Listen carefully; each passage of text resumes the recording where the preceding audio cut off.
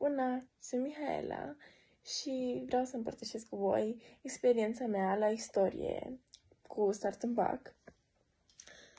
Din punctul meu de vedere, este super. Deci, super. Nu mă așteptam să fie așa cum este. Adică, um, ca Gabi să, expli- să explice atât de bine și să și înțeleg.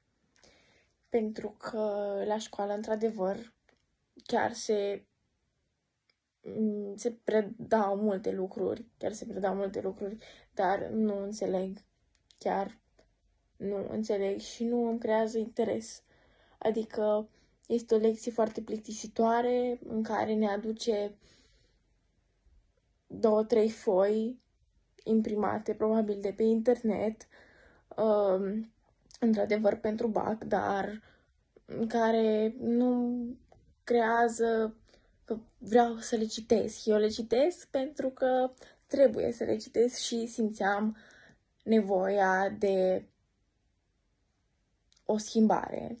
O schimbare în sens că aveam nevoie de ore la istorie, pentru că dacă eu nu acționeam, n-am așa, adică dacă nu mi apărea Gabriela pe TikTok, eu pe TikTok am descoperit-o, uh, probabil chiar nu mai eram acum la nivelul ăsta. Pentru că nimica nu prea crea um, nu-mi crea interes. Doar trebuie să învăț și atât. Și asta nu era neapărat de ajuns, pentru că învățam cumva așa